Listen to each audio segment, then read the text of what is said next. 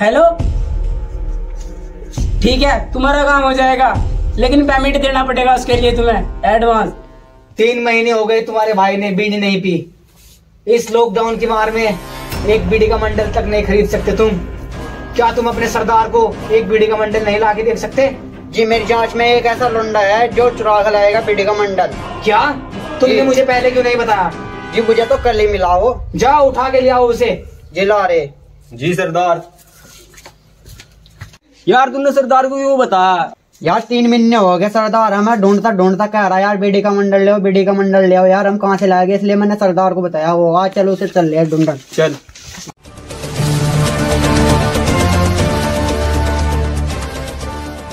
यही है। हाँ युरा चलो हमारे सरदार ने तुम्हें बुलाया है। जिसने तीन महीने से एक भी बीड़ी नहीं पी। मैं क्या कर सकता हूँ इसमें? तुझे करना कुछ नहीं बस सिर्फ़ काजा भाई बुला रहे। मैं नहीं जाता। तुम्हारी इतनी हिम्मत?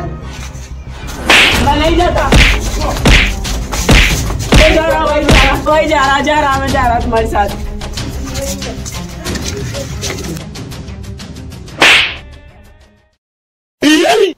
अबे छोटू क्या हुआ? क्या हमारे लिए काम करोगे?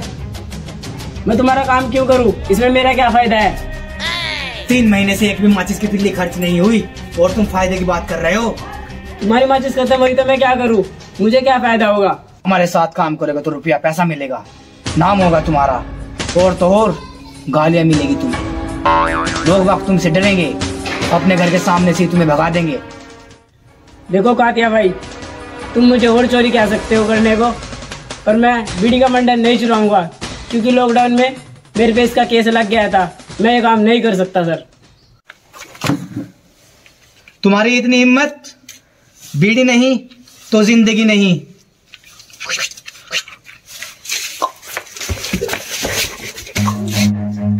अरे, ये तो मर गया। और कहते सरदार भी चले गए। भाग। को हेलो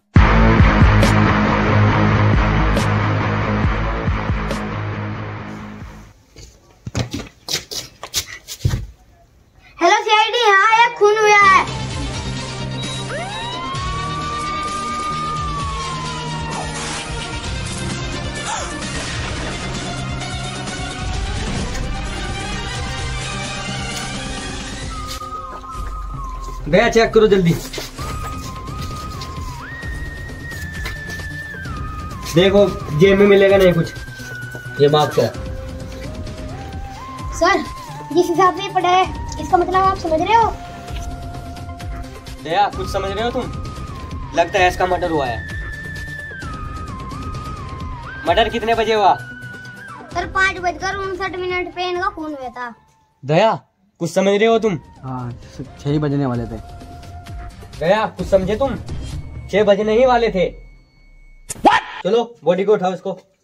मेरा कमरा चौथा जिस कमरा अपना उठावागा। या लाश भी मेरे सीधी घेर के चल रहे